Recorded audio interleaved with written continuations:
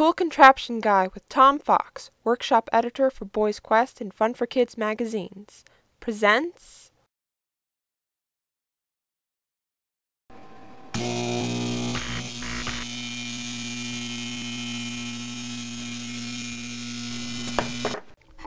Hi, I'm Tom Fox. In this series of videos I will show how to use the mysterious phenomenon popularly referred to as electricity in many interesting projects. Will you understand what is really going on in electricity after viewing these videos? I mean really and truly? Probably not. Despite what is believed, even by many physicists, electricity is still mysterious. If you happen to doubt this, consider the QED theory, which is supposed to explain it. While the QED theory is said to come out with numerical predictions more accurate than many other known theories, it has real problems. Literally big time problems, since these problems involve nasty infinities. Even one of the founders of QED, Richard Feynman, calls getting around these infinities a dippy process. In this series, I will show how to make some simple yet practical projects from this mysterious thing called electricity. While electricity is mysterious, there are over a million times a million fascinating contraptions we can make using it. In this first in the series of videos, I will show how to make a project made from a popsicle stick that is both as simple and as useful as they come, a switch. This switch will be used in many of the interesting electrical projects in this series. The second video shows what this switch does and a down-to-earth look at electricity itself.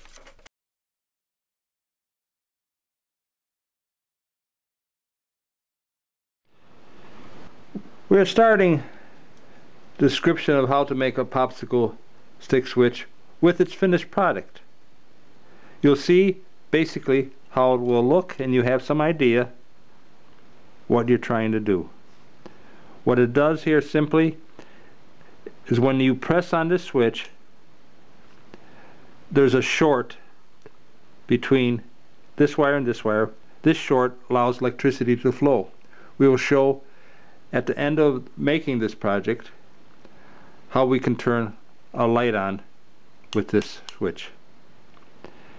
This switch is connected to a, a relay can turn large motors on uh, could even possibly turn on all the electricity in your house of course you have, can't do it directly you have to connect it to a relay which which provides the that turns the relay on and that the relay uh, will turn on more power.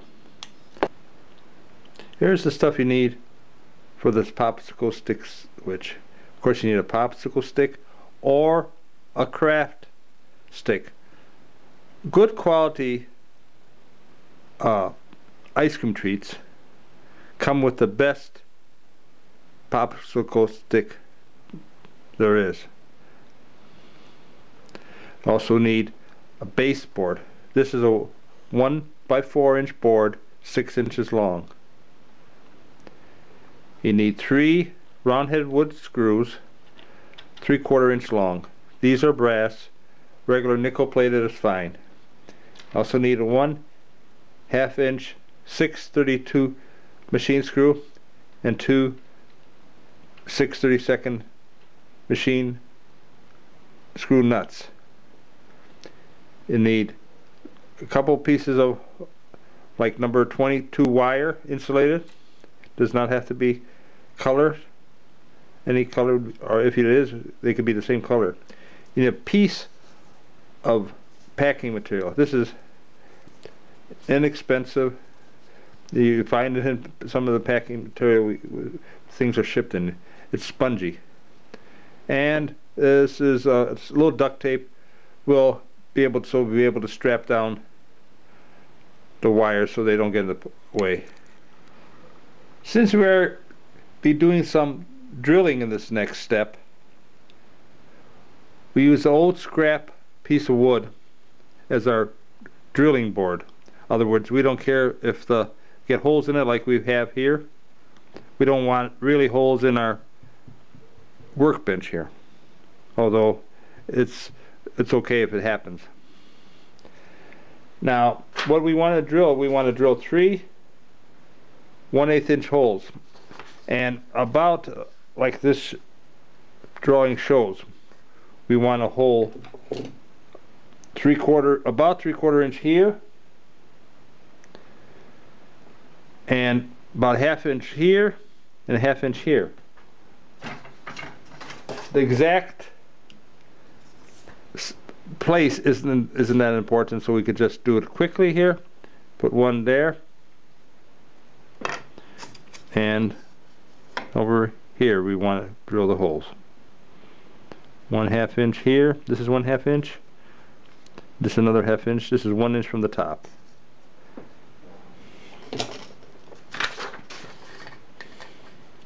We want to drill slowly so it doesn't crack the wood the better of the craft stick or popsicle stick the better. Better quality. And it's uh, we found I found from Dove bars which are really tasty uh, they have a popsicle. The the stick that holds a Dove bar is really thick and well made. Very good wood. Other high quality ice cream treats I'm sure has similar high quality uh, see I'm going real slowly here that's way avoids cracking the wood this photo shows the three 1 8 inch holes drilled in the popsicle stick. In this next step, we want to drill pilot holes, 1 16 inch pilot holes in the baseboard. In order to mark where we want the pilot holes, we use the stick we already drilled as a guide. Use a pencil, put a mark inside where this where we actually drilled. Where we want to drill the 16th inch holes. Okay so there's one there and there's one there there's two there. Now using a 1 16th inch drill bit we want to make the pilot holes there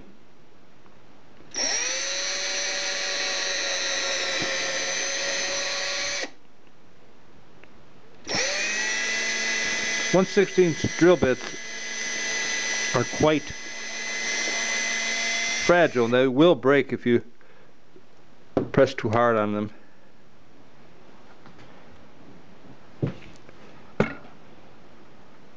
For this next step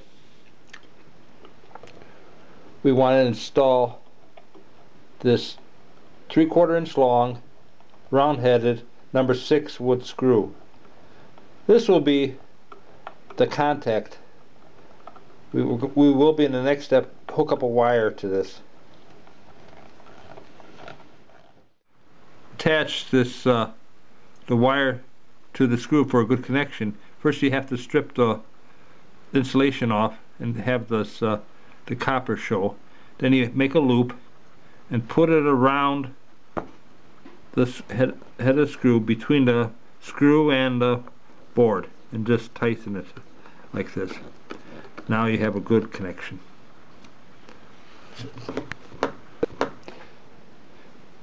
In this step we want to put this 6 30 second one half inch long machine screw through the hole at the top of the popsicle sticks Uh, since the hole and the screw is almost the same size, we screw use a screwdriver to screw it in. It, it won't just slip in. Then we want to screw put two nuts on this screw. These nuts will be are used because we're going to install the uh, wire, the other wire onto this uh, screw it something like this. We will do that at the one of the last steps. See, well, we want to put it here, and then we'll be able to make contact. That's our switch. The next step is to attach the stick to the baseboard. And as, as you can see, if we put two screws, which we plan on putting two screws there, it'll just hold it there, and these two contacts will be just closed, and won't be any switch. So we need something to keep it above these two screw heads from touching until we press down on them. And as soon as we press down on them and let go of it, they should come back. What we're doing is to use a little piece of packing material, fold it up, and put it underneath here, this screw. That'll cause it to something like this, see? Here, let's try that out.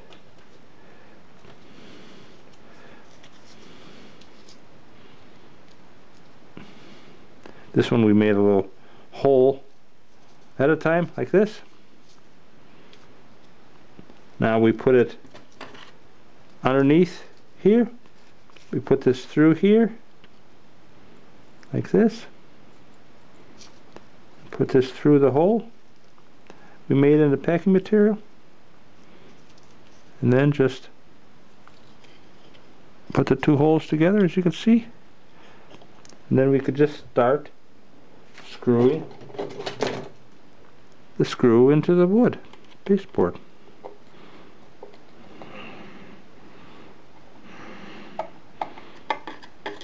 This one has the packing material. The other one won't have any packing material. That'll hold it from this other screw will hold it from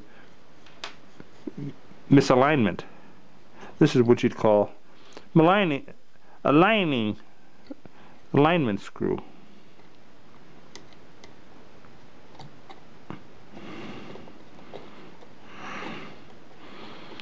You have to uh, adjust these so it'll cause what we want to so we want them to hit together when we press it and let go. Now the way to do that is basically what we want to do is this one should be screwed almost all the way to the board tight. This one won't be so to the board just enough so we keep it from connecting there.